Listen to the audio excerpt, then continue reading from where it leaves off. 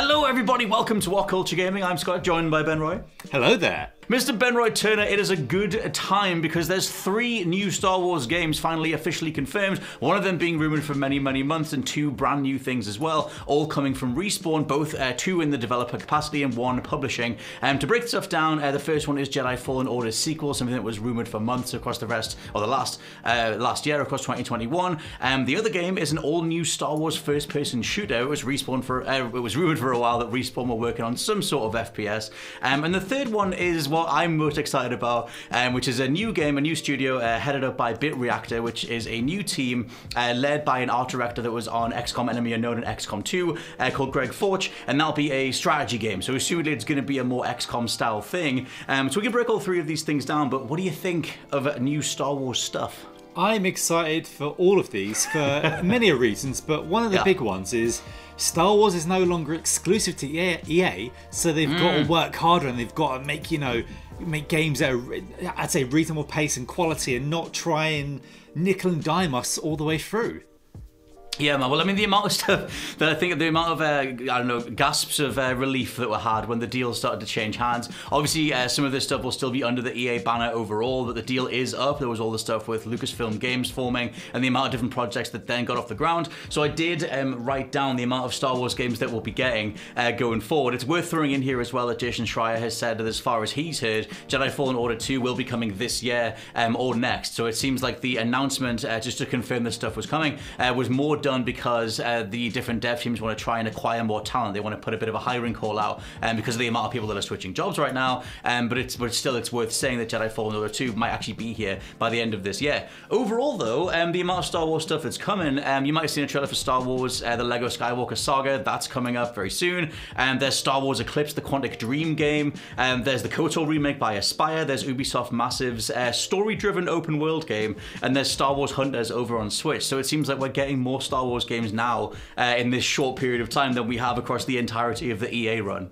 Yeah, it's almost uh, like we're going to return to the, the the very late '90s, early 2000s, where we were getting Star Wars games hitting bam, bam, bam, like it felt like every quarter, at least a couple of physical year at least, and mm-hmm. through all these different genres. So you like, you know, you had Starfighter, you had Bounty Hunter, you had some of the tie-in games for the films, and you had Empire at War over on PC, and and before that, the ever the other sort of like tactics ones. And i'm so excited and the idea of some former XCOM devs jumping onto a star wars mm. property.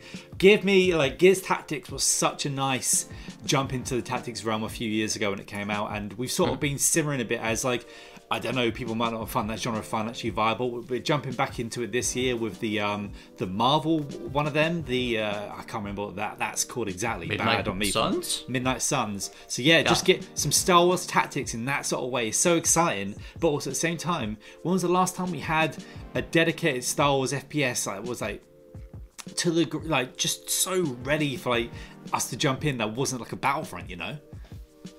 Well, I mean, that's kind of the thing that I hope comes from the amount of different projects getting greenlit. It's just a wider variety of Star Wars things overall. Um, like I said, me and you grew up around the time when the Star Wars IP was applied to so many other things. I grew up Yeah. on X-wing versus Tie Fighter and everything like that. So it's like, yeah, I would want a, a wider variety of stuff. Give me a full-on pod racing game or something if we're just going to go hog wild and do whatever. Um, one thing that you mentioned when this news broke, though, which is a very valid point, is that it seems like Titanfall 3 is absolutely dead and gone. And when I, I mean, you know, they keep hovering around the idea of potentially doing more Titanfall, but it just seems like well, that's just not coming. If the entirety of Respawn are now doing two more Star Wars games, Jedi Fallen Order, one more, and they're publishing the other one, I don't think there's many resources left to do anything with Titanfall anymore.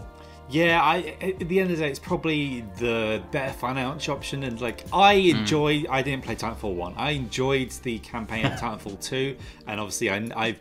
I, I'm on Twitter. I've seen people tell me how Titanfall is. You've told me how Titanfall 2 online is great. I think The Jeff best Ger- first-person shooter Jeffrey ever made. Gerstmann as well. But like, I feel like what they do at this point now is turn it into a skate situation. Let Titanfall 3 or Titanfall, whatever they will call it, sleep for a while, get these Star Wars games out of the way, and see where we are next. You know, and it's like I'm fantasizing maybe they can bring back the dark forces in some way, or sort of like rejigger that about from what was essentially uh, it came out in the era of like Doom clones and Quake clones as we're sort of coming out of uh, the FPS sort of primordial, primordial ooze, and see what we can do now with a more sort of like focused and you could even throw lightsabers in it like uh, Jedi Outcast, Jedi Academy, and get some fun going in there. But I would be happy with just having some shooty shoot time in Star Wars. That's kind of the thing. That you talk about like legacy, you know, first person shooters in the Star Wars space. Like, um, there's kind of the Jedi uh, Academy games. You could play them in first person, um, which I know is like a continuation of Dark Forces stuff. But it's that time period. It's that sort of arena shooter feel um, that has obviously gone out the way. Or out the, um, you know, over time it's been replaced by the likes of Call of Duty, Halo, more campaign set piece stuff. Um, arena shooters just haven't really had their day in the sun. But I, I wonder what like old school identity they channel for a Star Wars FPS. Like whether you make it more pick up and play arcadey or whether because it's respawn and they're slowly making a name for themselves as story driven stuff, whether it, whether it is something more like that. You follow maybe they resurrect Kyle Katarn and do all that stuff all over again. Don't, don't do it to me because I don't think I think these have all got to be in canon. Unfortunately, mm. Um, He could be in canon, right? He's not been killed, or maybe yeah, but what Kyle Katarn stole the Death Star plans in those games, and Kyle Katarn survived Return the Jedi, and him and Luke Skywalker Mm. were in the Jedi Temple on Yavin Four and all that. So you know, there's all that. I mean, I would love it. Bring it back. I would, I would, I would- like the the original. I was watching a um, uh, retrospective on the Dark Forces and Jedi Outcast games last night, and the guy who Mm. originally played Kyle Katarn uh, kicked acting, and he did he liked acting, but he went off to make wine in a vineyard. So he's still alive out there. So bring it back as, a, as some sort of granddad. But also, when you think of all these Star Wars games, and I, I harken back to Dark Forces one more time. The Dark Troopers came from that, and the Dark Troopers uh, came into um, spoilers for the Mandalorian. They came into Yes. the Mandalorian season two, so that we're starting to blend things back in there. And there's obviously the creative heads of the series, is series, series are like sort of bringing things in and out, and we are recanonizing stuff. And also, you've got to think about things like um, Thrawn is yet to be utilized in games as well. We don't know what era these games are taking place in as well. So there are so many characters and aspects around everything that could be exciting. Danny um, Danny Trejo popped up in uh, the the uh, Book of Boba Fett the other day. Had the Danny Trejo simulator where you look after a little rancor. Why not? Let's go. I would take the because I think he's is he part of the bike gang that's doing the rounds in Boba Fett? Because I've seen that. He's- it's a thing. He's like literally he's like he's not janitor, but he he's just looking after his new baby rancor, and he's teaching him the ways of how to basically a dog trainer. Right. Because thing I was going to say is, like, obviously they're trying new stuff. I saw the screenshot. I haven't been keeping up with Boba Fett, but I've seen the screenshots of the little Vespa gang doing the rounds. And I kind of wonder, like, what time period they pick. Like, I mean, because you know Star Wars timelines better than I do. Uh, Do you have any particular thing you would, like, want them to place a first person shooter in? Does it feel like there's something that they should do? Or is it just, like, they should go back into the, the well, let's say, and bring something back in from old school?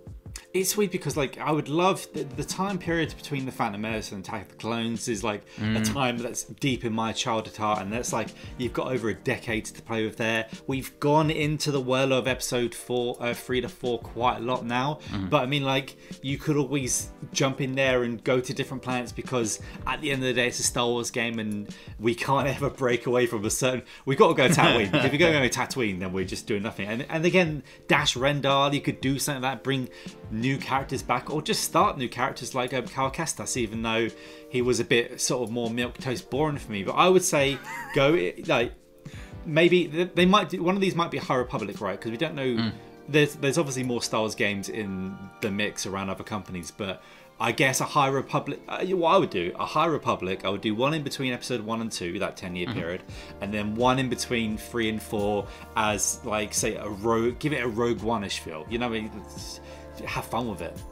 Well, it's interesting because obviously the movies going forward are going to be all super old school. It's like young Yoda or whatever. They're just trying to get away from where things were in the last few movies. So they're going to be setting away in the past. So you have that potential time period. But like you said, um, there is that whole, you know, like between episode one and two or between two and three, um, before, like when it's, it feels a bit cleaner and more high tech and it's before everything fell and it was like the height of certain technologies and spaceships and different designs that would go completely by the wayside in the later movies. That I wonder if that's the thing that they double down on. I feel like um, Battlefront 2 kind of proved that there is a really hungry audience for that time period. And once they started doing the DLC and the add-ons, um, that was one of the many things that resurrected that game and helped it become one of the best Star Wars games ever. So I hope it's not another, you know, dust, sandy, worn-out version of Star Wars, and maybe they can do something feel a bit fresher, whether or not it is um, High Republic stuff or whether it is something more like the prequels that we haven't seen yet. Um, but let us know what you think down in the comments below. You've got Jedi Fallen Order sequel, you've got a first-person shooter game, whatever the hell that's going to be, and some sort of XCOM strategy thing too. For now, though, I've been Scott from WhatCulture.com,